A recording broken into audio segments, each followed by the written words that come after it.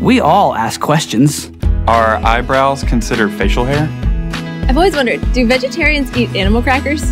If a number two pencil's so popular, why is it still number two? Do bald people get dandruff? Why are power outages reported on TV? That makes no sense.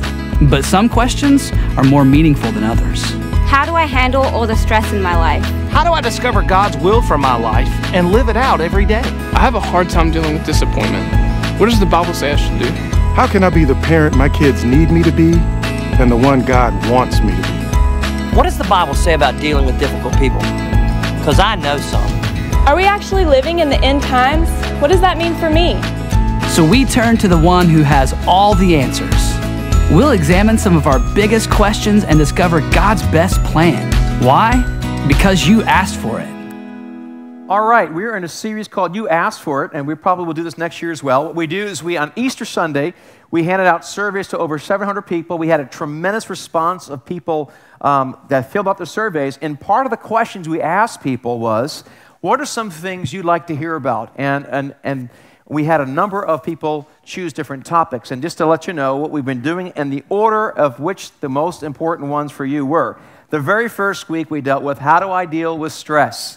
That was week number one. We talked about that. Uh, week number two, we talked about, uh, my memory is fading here this morning. Uh, week number two, oh, we talked about my purpose. Thank you so much. I forgot my purpose. The week number two was my purpose. Thank you so much. Whoever said that, God bless you. I was, I was going to put it in my notes today. I said, I can remember. So, my purpose. The third one was, how do I really change? How do I really change? And, and, many of us, and we want to change, we desire to change, but we struggle changing. And so you can go to cornerstonecheshire.com and you can look it up and you can listen to those messages. I encourage you to do such because I think they're very important messages and they're very timely.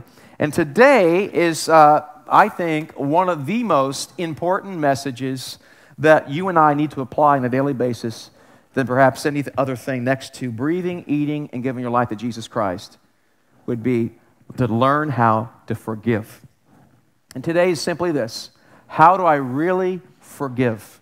How do I really forgive? And this is the, this is the most important thing next to knowing Jesus Christ in eating and breathing and sleeping, I would say, is to know how to forgive. And my friends, you're going to have so many opportunities to practice this once you learn the importance of it. And what's very interesting is the Bible has said for millennia about forgiving those that have offended you. And now medical science and psychiatrists and psychologists and behavior sciences, scientists are telling us, yes, that's true, that if you don't forgive somebody, it can affect your health. They've actually done studies, study after study. I just go on the internet, don't do it right now. But go home later on if you want to and do, look at the studies they've done about unforgiveness and what it does to somebody.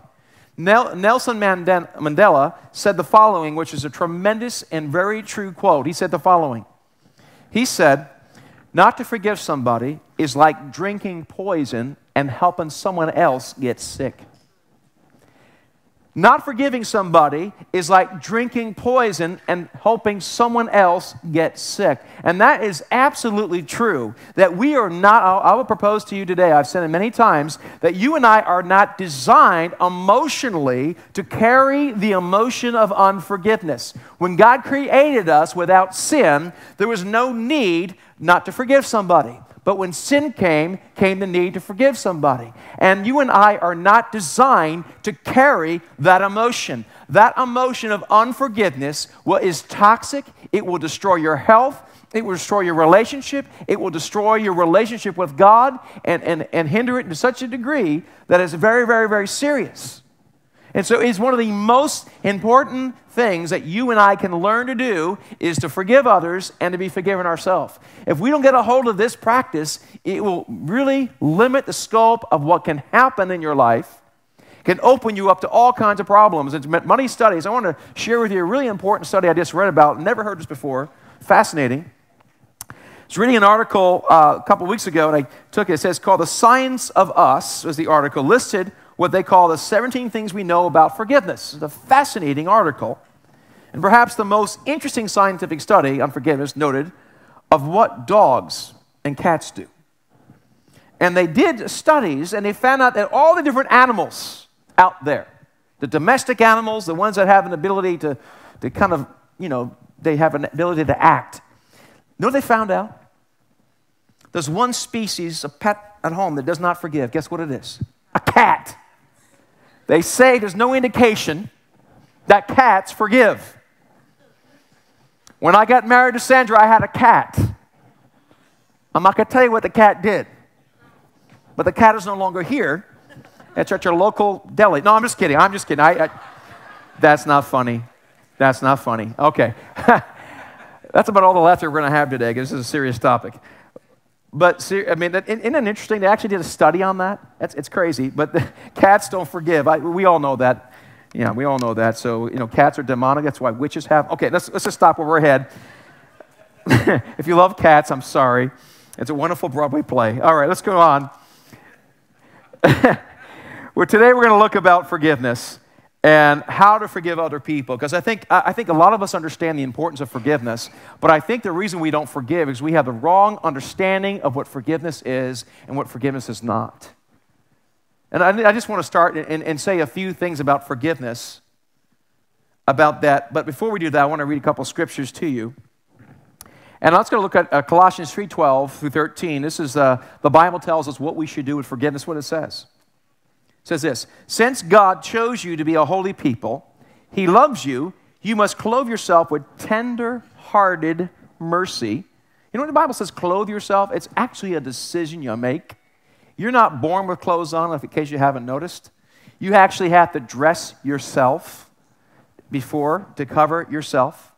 And it's the same thing with forgiveness. It's a choice of something we can put on and something we can take off so, with tenderhearted mercy, kindness, humility, gentleness, and patience, make allowance for each other's faults. Some of us make no allowances for each other's faults, which we're going to share with what we believe part of the reason is. And forgive anyone who offends you. If you are alive, you're going to be offended. If I, I always say this, and people get upset when I say it, but I'll say it anyhow. If I have not offended you yet, please give me an opportunity. I promise you I will. Why? Because I'm a human being. I'm going to say something you may not like. I might walk past you without saying hello. I might not invite you to 201 to have, um, or 101. I, I, will make mistakes, and I guarantee you, and you'll do things, by the way, will offend me as well. But you know, I've made a decision ahead of time. I've made a decision that I will not be offended. I'll try my very best not to be offended because offense does not do very well. It causes all kinds of trouble. But forgive anyone who offends you. Remember, the Lord forgave you, so you must forgive others. And, and, and by the way, the grammar in that sentence in the original language, which is the Greek language which is written in, it says you must forgive is not like an option when you get up to it. No, it says you must forgive. And what's so amazing is this God asked us to do things not because He wants to limit our freedom, because He ultimately wants to give us more freedom. The Bible says from the very, very beginning to the law of Moses, these are for your benefit that it may go well with you. You and I were not designed to hold resentment and unforgiveness, it does damage to you. It does you absolutely, positively no good whatsoever to have unforgiveness. To not forgive somebody hurts you more than it hurts the other person. It's toxic, it will destroy your health, and we're going to show you it opens the door for the enemy. Yes, there is an enemy out there to have a field day with you in your spirit and in your life. So we need to understand a couple things. I want to bring something really important to your attention. In order to understand this, we need to understand something about forgiveness. First of all, is this forgiveness, unforget, I'm sorry, forgiveness is not a feeling. Let me say it again. Forgiveness is not a feeling. Resentment is a feeling. Unforgiveness is a feeling. But forgiveness is more of an attitude that you and I choose to do. It's a conscious choice we make that leads in the direction of forgiveness in action. I will guarantee you, most of the time, if not all the time, when you know you should forgive, it's the last thing you want to do. Now, I understand here this morning that uh, we all have different things that have happened to us. And maybe some of you, and, maybe some of you watching later on or live right now, you've been through some things that have been horrific, very painful. Unfortunately, uh, I've been uh, doing, uh, I've been in the ministry or, or full-time ministry since 1996, and a lot has happened since then. And I've dealt with a lot of different things through the years, unfortunately, and one of the most heinous and the most difficult is abuse of children. And I've dealt, unfortunately, a number of people, this is extraordinary, one out of four women are, are abused sexually before they're 18 in the United States of America. These are statistics. And we've had people that we've spoken to through the years, multiple people that have been abused physically, and their innocence has been robbed from them, from people they loved and trusted. It's been horrible to hear these stories. And something rises up in me as a father that just, you know, I want to make it, I want to go out there and get a posse together and take care of. I mean, that's, that's something that rises up, and there's, there's got to be justice. And, and so people live with this. And, and maybe you've been through a horrible divorce where your spouse just totally ripped you to shreds, took all the money, put the kids against you, whatever happened and, and, and it's destroyed you, and you're still licking your wounds, not quite healed. Maybe there was a pastor or a spiritual leader that you trusted, that you invested in, and they betrayed you. Or perhaps even worse than that, maybe you betrayed yourself.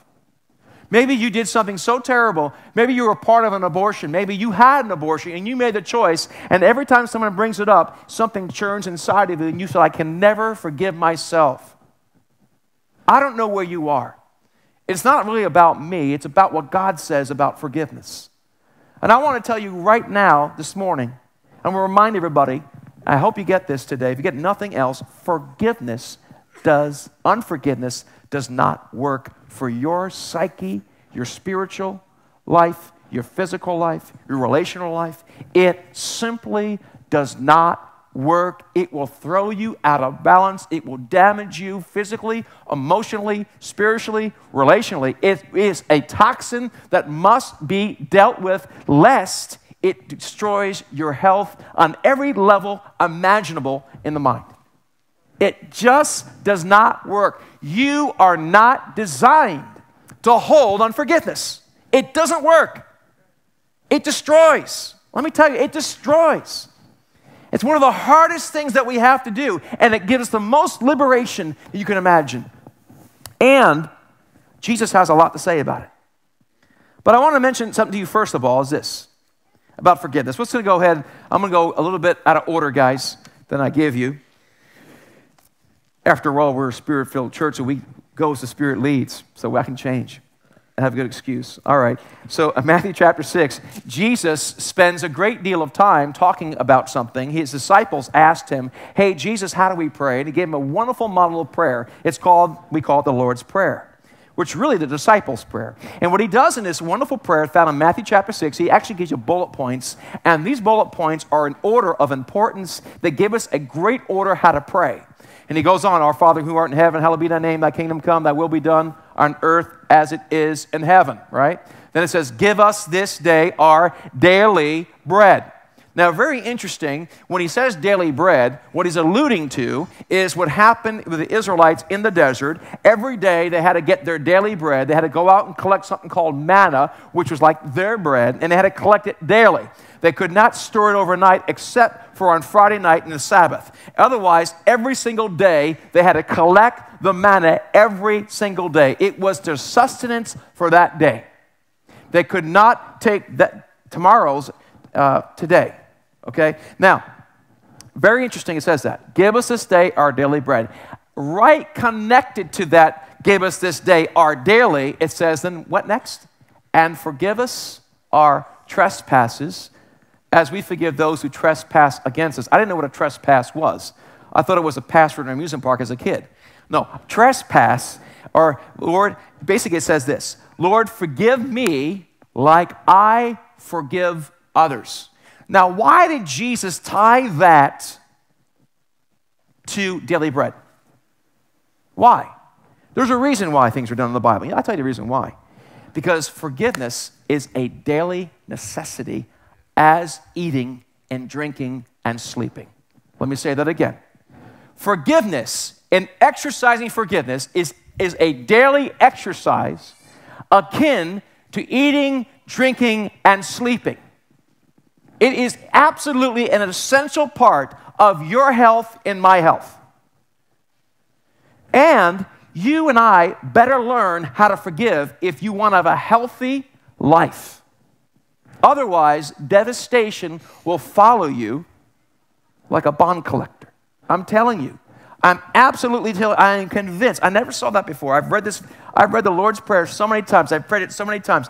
This past week, for the first time, I got a new revelation, not new revelation, but I got a more of a, um, a, a bigger girth, if you will, a bigger, bigger view of the Lord's Prayer that I felt the Lord said, as I was reading this, there's a reason why it's connected to daily bread, because you need to forgive daily.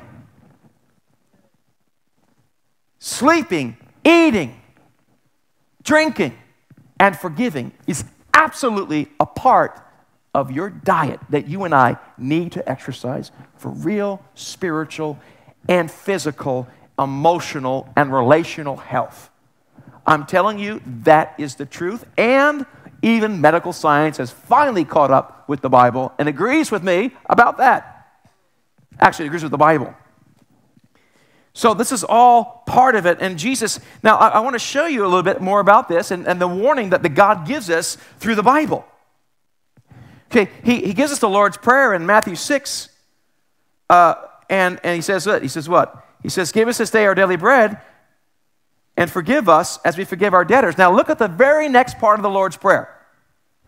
What does it say? And deliver us from what? Deliver us from evil. Lead us not into temptation, but deliver us from evil. If you don't forgive, guess what happens? Your deliverance from evil is marred and compromised. As a result, things that normally you'll be able to overcome, you will not be able to overcome because God is not fighting your battle because you refuse to forgive. Oh, come on, how can you say that? That's legalism. No, my friend, it's the way it is. How can you say that? Well, let me show you how I can say that. We go back right after this. And what does he say in verse 14? Just in case you and I missed it. He says this For, verse 14, if you forgive men their trespasses, your heavenly Father will also forgive you. I wish the Bible stopped there because that would be enough. Okay, if I forgive others, God will forgive me. But He doesn't stop there. Just to clarify it, what does He say at next is one of the most, I call sobering and humbling verses, I believe, in the Bible. What does He say here? But if you do not forgive men of their trespasses, neither will your Father forgive your trespasses. Now, what on earth is Jesus saying? What about once saved, always saved? Are you saying I'm going to hell? Listen, I am not saying, I don't have the power or the ability to say who's going or who's not going to go. At best, at best, the ramifications of that verse means your relationship will be thwarted to such a degree that God will not be involved with your life. At best. At worst, He doesn't forgive you. If He doesn't forgive you, what's the consequences? Listen, we want to sit there, you want to argue about this? I think it's a waste of time. Why would you even want to put God to the test with such a thing? It's, to me, it's a mindless exercise. The truth of the matter is, you're not designed not to forgive. And God tells you to forgive. It's a daily experience that will, will protect you. Um, oh, I mean, come on, folks. Isn't it, isn't it absolutely amazing? The Bible says something, and people are like, no, it ain't true, it ain't true, it ain't true. Oh my goodness, science tells us it's true. Science, by the way, is a study of what God has made. And sometimes they get it wrong and they get it right later on. Undeniable, undeniable, this is a part of it. So, just to help us to understand what we're talking about here, I want to help bring more clarity to this. Uh, if you look at Matthew uh, chapter 18, uh, just to help bring more clarity to this, okay?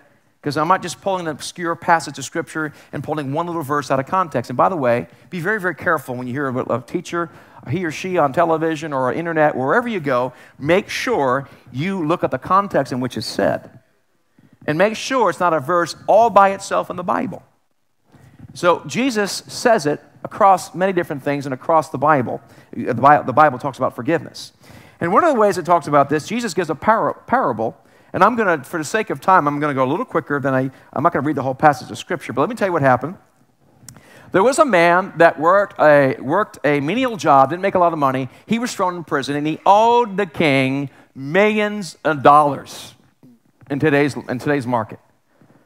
And the man said, Oh, Lord, please forgive. Actually, you know what? I'll just read it because the Bible does a better job. I'm going to go ahead and read it. Because by the time I explain it, I can just read it and be over with. So we'll go ahead and do that. Verse 32 The king called the man he had forgiven. Oh, yeah, I, let me just say what happened. So he forgave the man of all his debt. His kids were in prison and all that. And he says, Please, please, please forgive me. Please forgive me. I tell you, I'll pay back every last cent. And the king's like, Yeah, you can't pay me back. There's no way you can pay the money back. But you know what? I'm going to let you go. So the man, whew, he gets out of there. He finds another guy that owes him like a week's wages, maybe 500 bucks. You know what he does? He grabs him by the neck and chokes you. You got to give that back to me right now. And what happens when the king found out? Well, let's look what the king did. Verse 32. This is a parable that Jesus gives. A parable to teach a spiritual significance and a spiritual truth. The, then the king called the man he had forgiven and said, You evil servant. That's not very positive. Now, I know. Jesus doesn't mince words. I forgave you that tremendous debt because you pleaded with me, not because you had anything right. You pleaded with me. Shouldn't you have mercy on your fellow servant, just as I had mercy on you? The angry king sent the man to prison to be tortured until he had paid his entire debt. How is that man going to pay his entire debt? He's in prison. Now, I wish he would stop there, but he doesn't. Then Jesus breaks it down for us today. This is what he says in verse 35. Very sobering and very important scripture. That's what my heavenly Father will do to you if you refuse to forgive your brother just by saying it? No. Your brothers and sisters from your heart.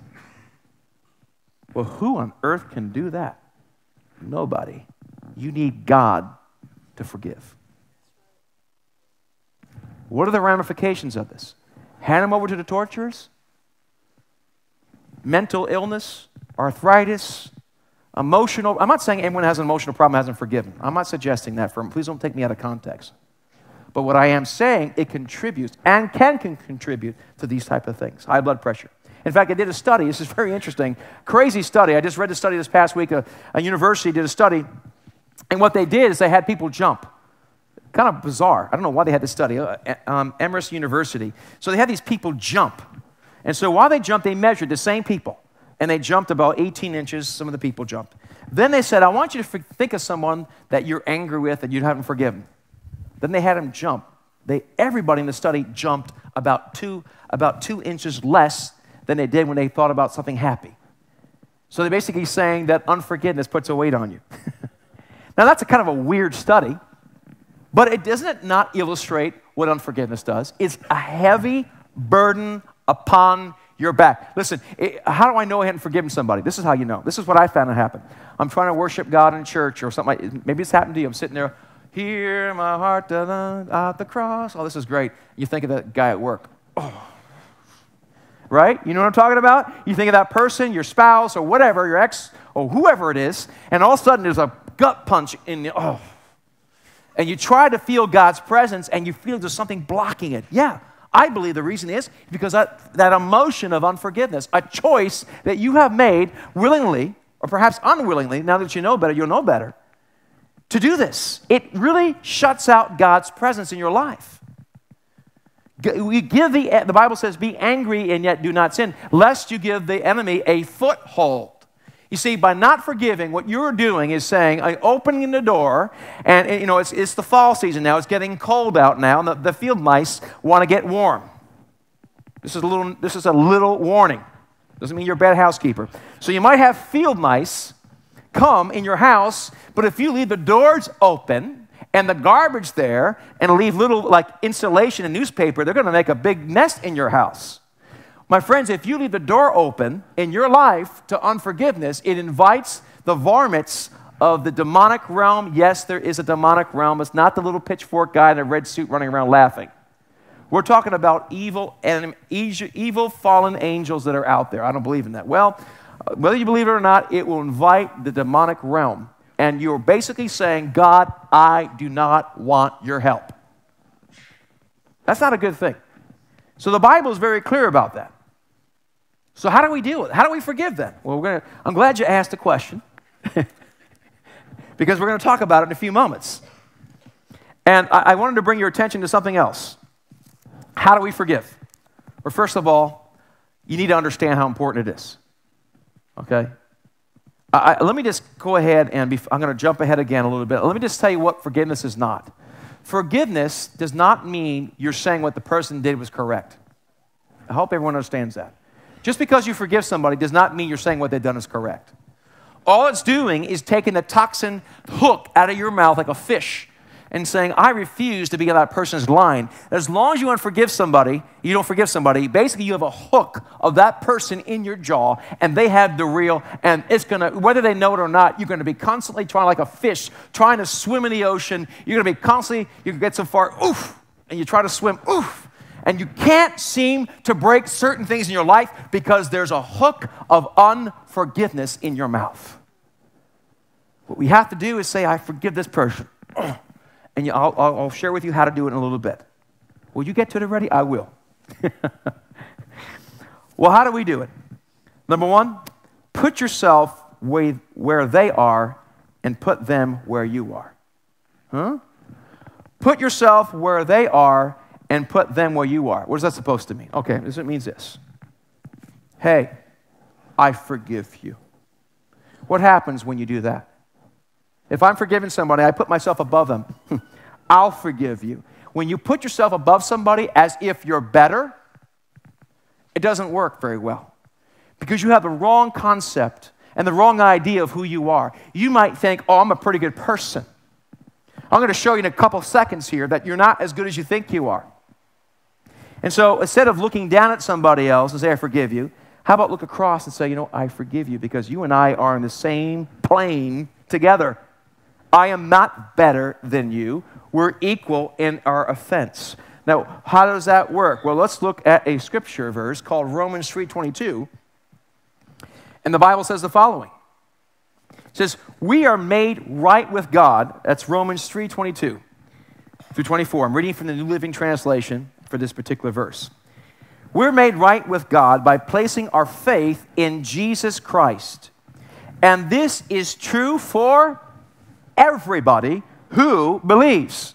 No matter who we are, I just love the fact that God breaks down all these classes and these different uh, blue state, red state, whatever your state is, whatever your economic situation is, it doesn't make it. Whosoever says, who believes, no matter who they are, for listen to this, for everyone has sinned. For some of you, that might be a surprise.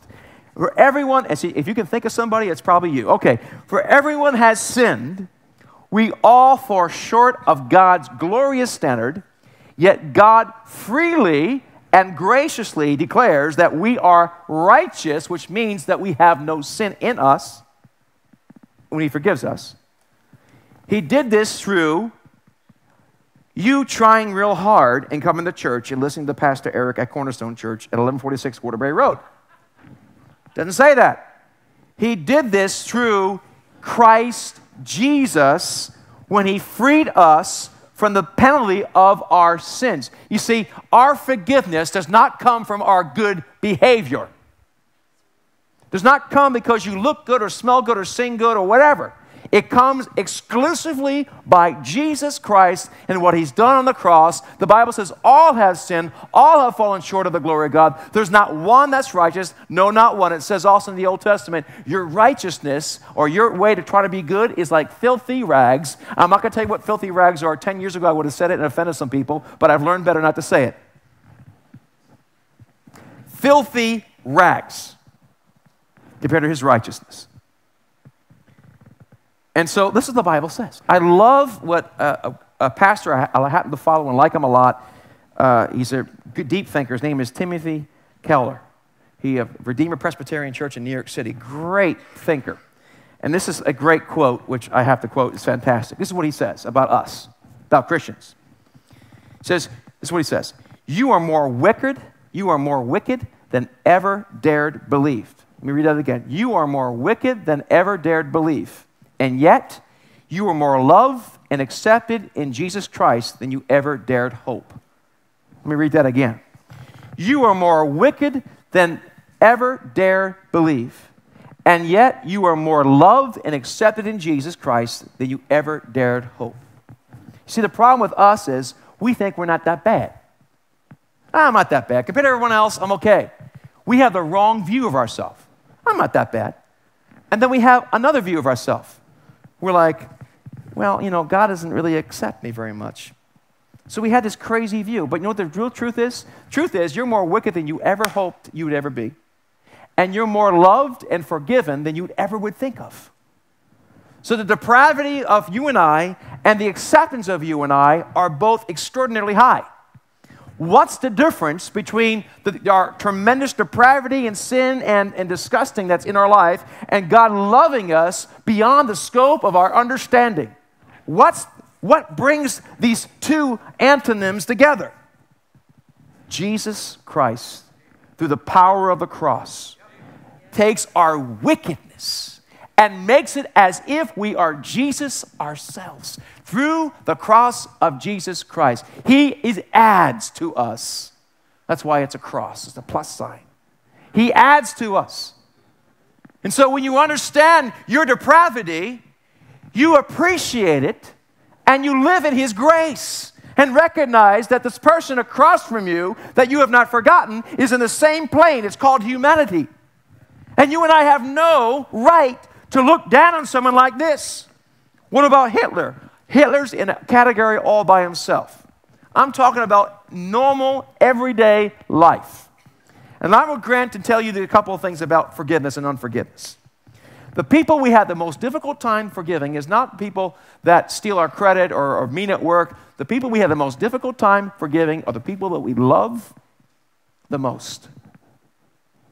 It's that father or mother in who you trusted.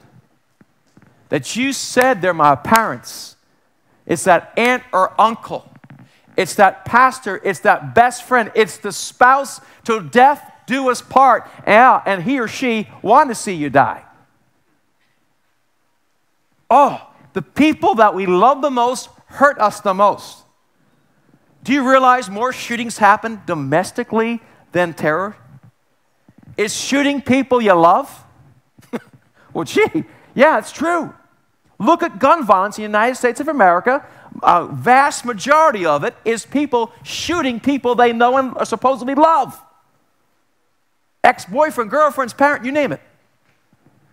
And so what happens is the depth of our relationship. And so one of the ways we do that is the first thing is you put yourself where they are and put them where you are. Understand that you're like this. See, the Pharisees look at the other way.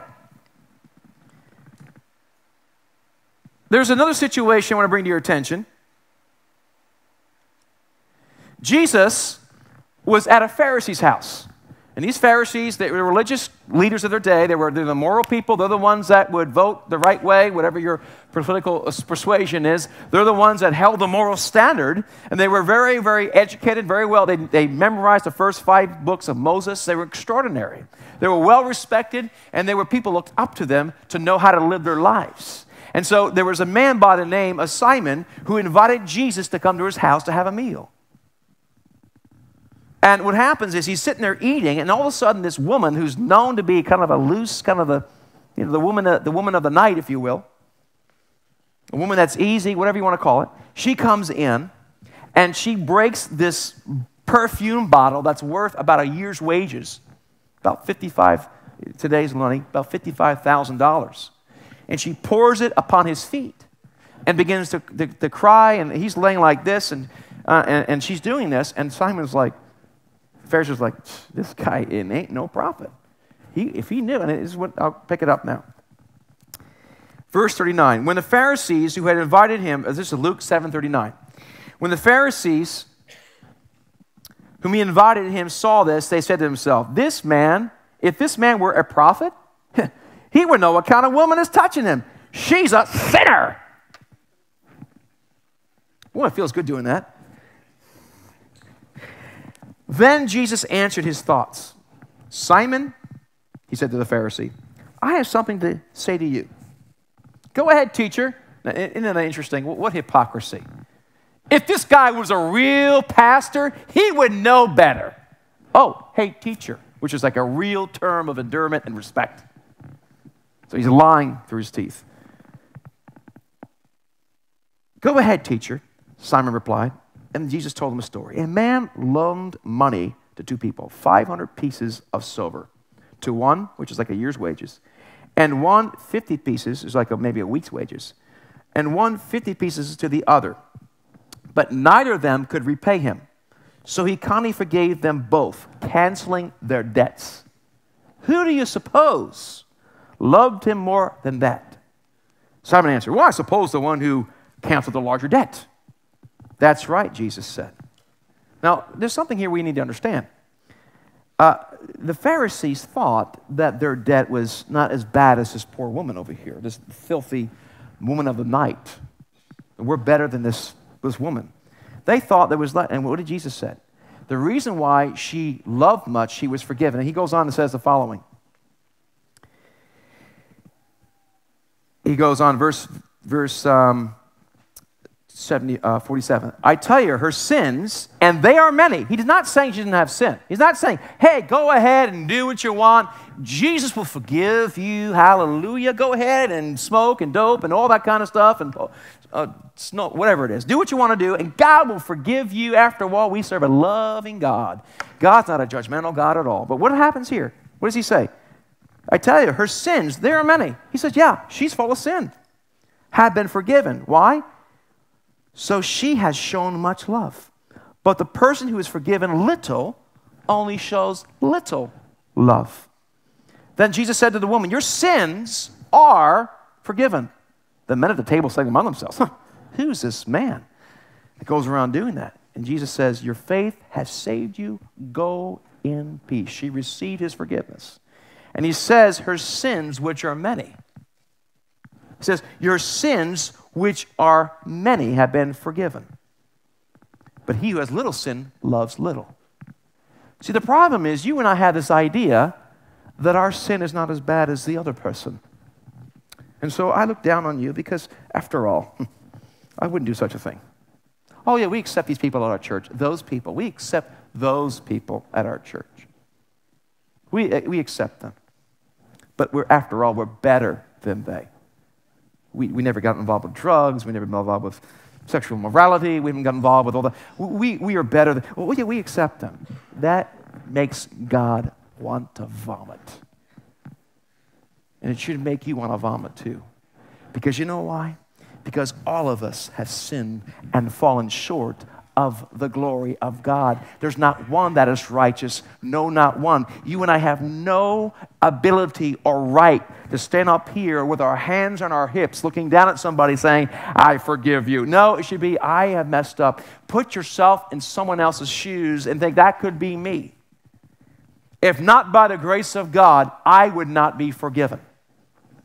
But what about this? What about that? Listen, I understand that some of you have been really uh, been abused. Maybe you went through a horrible divorce. Your parents were terrible to you. Your boss has been terrible to you. Listen, I'm not suggesting I understand. It's not about me. It's about what the Word of God says. You hold unforgiveness. You think, well, what I'm going to do is I, I'm going to hold. If I, if I don't, if, if I forgive that, that lets them off the hook. Well, I'll tell you what else it also does. When you don't forgive someone, it shows a fundamental distrust of God.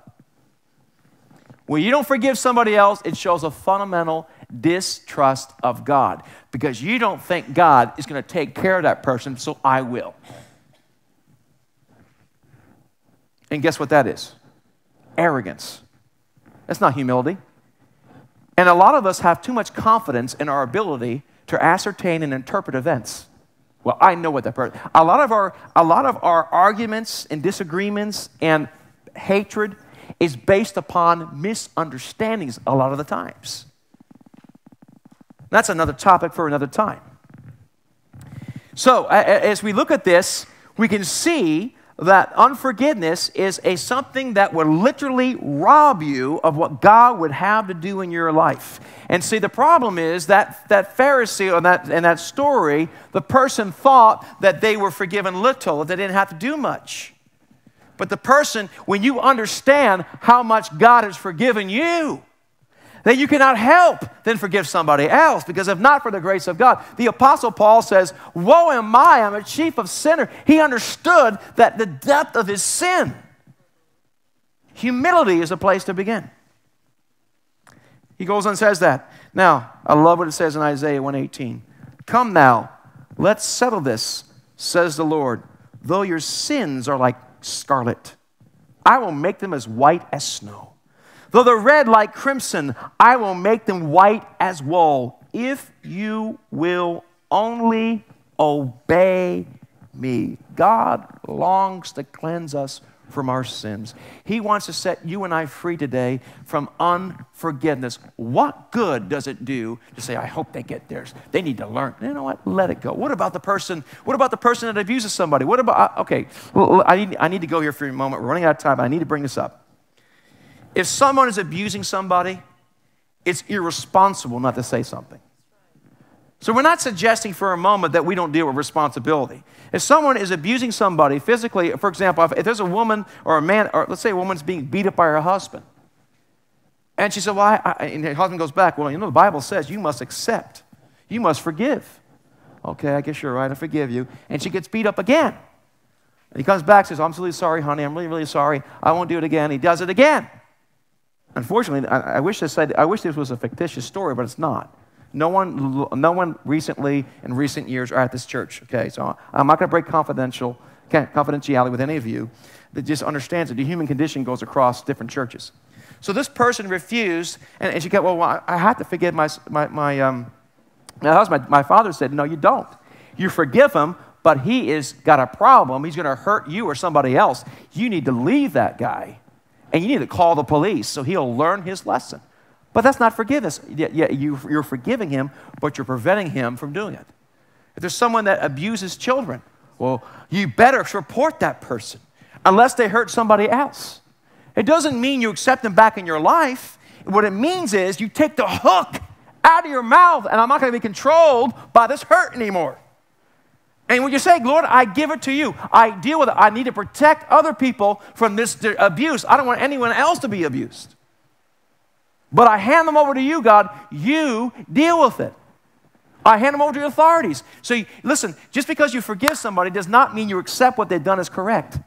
That's a lie what you're doing, you forgive somebody, you are emotionally detaching yourself of the arsenic poison and you're letting it go. And the thing of the matter is, it is an ongoing process. I'm going to ask the ushers to please hand out the elements. Let me tell you a closing story here. There is a, a televangelist uh, by the name of Jim Bakker. You might have heard of the guy. It's not the Secretary Baker that used to be under the Reagan administration. No, Jim Bakker was a televangelist. If you've been alive in the 1980s, that was a long time ago. And this gentleman had a TV program called PTL, very successful show. He was married to his, a wife named Tammy Faye. They had very successful. They were growing extraordinarily. What happened was uh, basically that the word got out that he had an affair with a woman about five years earlier. word got out. The next thing you know, the government was on him and he did investigations. He was building these buildings and things like that, uh, and, and, and claiming he built buildings he didn't build yet. So it really wasn't. And they basically, what happened was, to make a long story short, they tried him of a crime he really didn't commit. And they, after five years of being in prison, they let him go. But they sentenced Jim Bakker to prison for 45 years. His wife, Tammy, uh, started becoming friends with his best friend and builder, Real Messner, who was the builder who built the, the, the, all these wonderful buildings at PTL. So, guess what happened? She divorced her husband, Jim, while he was in prison, and she married his best friend. Can you imagine that? Talk about betrayal. You lost your wife and your best friend, in addition to that, she marries him. So he says in prison, he had nothing else better to do than to read the Bible and pray. And he said for five years, he would cry out to God, God, I can't believe this. And he cried out, and the, and the, and the, the Word of God says, You must forgive Tammy. You must forgive Roe. And, she, and you know what he did? He said, it, I, it pained me. It pained me. I was under such duress. He would, he would curl up in a fetal position because he was so depressed. He was emotionally broken. But the moment he began to forgive her, he said this weight came off of him and he was free. And this is the ironic thing. If you go on YouTube, don't do it right now. There was a special with Larry King. Remember Larry King, the guy with the suspenders? And they had Roe Messner, they had Jim Bakker, Tammy Bakker, and, and the, the four of them sitting together, which is bizarre. And they says, I honestly can tell you, I have forgiven Tammy because I can't blame her for doing what she did because I was going to be in prison for 45 years and I betrayed her trust. And my friend, you know, and he forgave her. And you could just tell. I mean, Larry King was like, you know, he's, of course, Larry King is always that way. But anyhow, he, he was totally blown away. And, and I was blown away watching it. And whether you like those people or not, I, that's beside the point. But the truth of the matter is, he, he forgave. And she forgave. And they were free. Listen, you can be the same way. You don't have to live with this guilt and condemnation. You don't have to live with this curse of sin. But if you don't forgive, God won't forgive you. Question is, what are you going to do? Well, how do I forgive? I keep saying I'm going to end and I don't. But I need to end one more time. This is an illustration I've used a number of times. It's so important. Remember, forgiveness is not a feeling, it is a decision.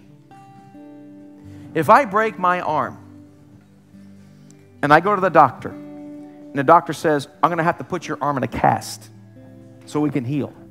So, what do I do? I have to submit myself to the doctor's care. I have to submit myself to a cast. I have to submit myself not to use my right arm for eight weeks, whatever it is. Right? If I do that, I can break, hurt my arm. So that's why they put a cast on, so you don't move it. When you forgive somebody, it's an act of the will. Lord, I forgive this person. I have no emotion to it, but I forgive them. And you, you may be screaming inside, No, I can't forgive them. No, Lord, in the mighty name of Jesus, I forgive this person. What you're doing is you're putting emotions in a cast. And every time you want to, the next day you're like, Oh, I'm through, I'm through that now. You come back to church, you see that, oh, and you want to do it again. I forgive that person. You submit your emotions to the decision of forgiveness with the grace and power of God Almighty. And eventually, your emotions will heal. You'll take off the cast. You might need some physical therapy, occupational therapy for a while. But eventually, you'll look at your arm and it'll be stronger. You go, you know what? I have a scar here. There's no more pain associated with it, but I am free. My friends, forgiveness is a decision. Some of you have not forgiven yourself because you had an abortion. Some of you have not forgiven yourself because you've cheated on your spouse and you feel like you can never make it right again. Some of you are so angry at your spouse that you never forgive them again. I have news for those that you won't forgive. I had a, we had a person that we knew of, again, not in this church, okay? And they were so distraught that their wife cheated on him. He was distraught. He hated the fact. He could not stand her. Every time we talked about it, he go, oh, she was a cheat. He married another woman. And guess what he ended up doing? He cheated on his new wife. Why? Partially, and he recognized it later on, because he did not forgive his ex wife.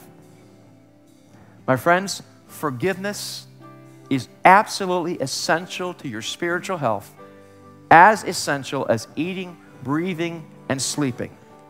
If you do not forgive, God won't forgive you. The consequences are dire.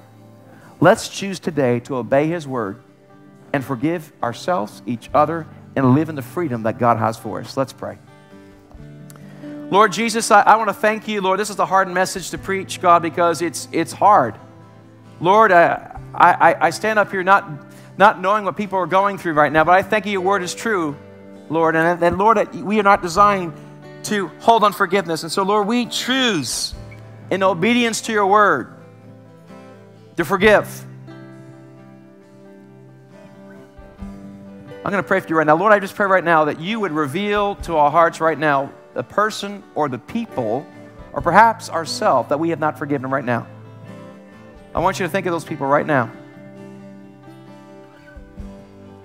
and say, Lord Jesus, I forgive this person or persons. I ask for your strength to maintain this decision, which is an act of my will, married to your power.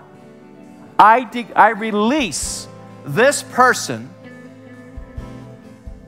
in Jesus' name. I forgive the person that abused me. I forgive my parent. I forgive my ex spouse. I forgive that uncle or aunt. I forgive that pastor. I forgive that teacher. In Jesus' name, Lord, I hand them over to you. You deal with them. I release myself from them. In Jesus' name, I forgive them.